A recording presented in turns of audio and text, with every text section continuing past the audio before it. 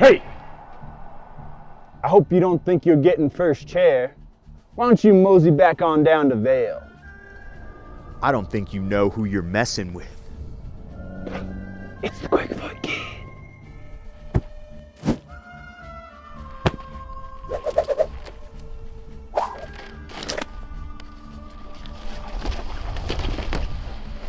Sorry, pal. Maybe try Panda Peak.